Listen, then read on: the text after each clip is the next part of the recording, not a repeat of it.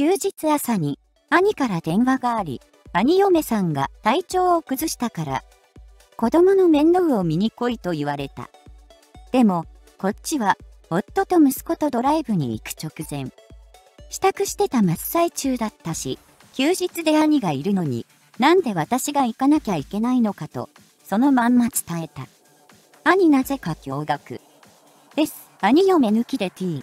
兄のこと一日遊べるぞ。こんな機会はもうないぞ。T ちゃんと一日遊ぶより、自分の息子と一日遊びたいわ。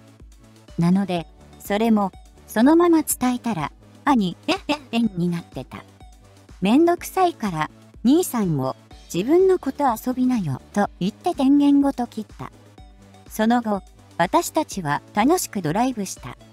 お昼を食べながら電源入れたら、兄からの留守電がみっちり。留守電聞いて分かったけど、なんで、か兄は、私が兄を大好きなブラコン妹だと思っていた。兄溺愛の母が、家族みんなお兄ちゃんが大好きなのよ、と言ってたのを真に受けたんだと思う。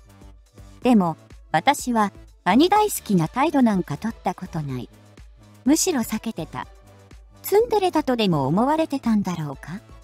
すぐ人を叩いたり蹴ったりする甥っ子も、甘やかされた兄も、はっきり言って嫌いなんだが、夜、はっきり電話で伝えて、今後こっちを頼ってこないでほしいと言っといた。兄は、でも、今まで T にお年玉と隠れて可愛がってたじゃないか。誤解させて T がかわいそうだ。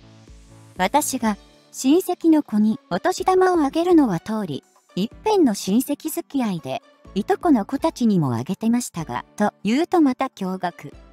36歳にもなって何考えてるんですかに。神経わからん。大人になってくれ。